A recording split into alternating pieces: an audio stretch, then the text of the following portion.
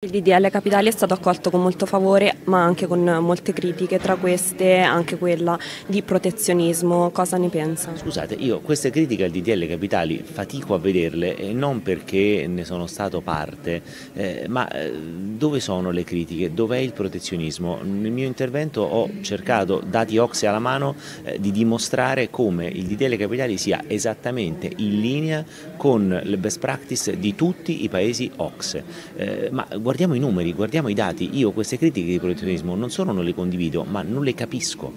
Parliamone, eh, io sono sempre stato aperto al dialogo ed è per questo che mi dispiace che le critiche arrivino dopo e non, siano, non si siano tradotte in warning prima. Eh, il rapporto Ocse è un'occasione formidabile per avere il peso di quello che è il sistema europeo e mondiale. Bene, ditemi dove il DDL Capitali è distonico rispetto alle regole OXE e io sarò felice di confrontarmi. Numeri alla mano però.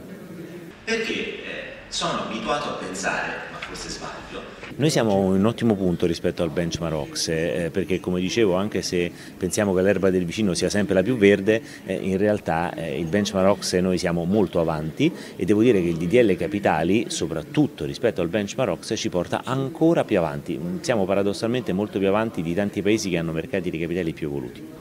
E rispetto ai report di Assonime sull'integrazione della sostenibilità nelle imprese italiane possiamo fare meglio? Siamo a un medio livello, possiamo fare meglio ma si può sempre fare meglio, eh, sono convinto che l'integrazione della sostenibilità sia anche un fattore dimensionale delle imprese, è più facile integrare eh, la sostenibilità su un modello eh, industriale grande, in Francia è più facile che in Italia, noi abbiamo una polverizzazione del sistema industriale che rende eh, paradossalmente più difficile integrare appieno, a livello di numeri perlomeno, eh, il modello di sostenibilità, questo non vuol dire che dobbiamo rallentare, vuol dire che dobbiamo però essere consapevoli eh, di come sia funzionalmente meno semplice integrare questo modello.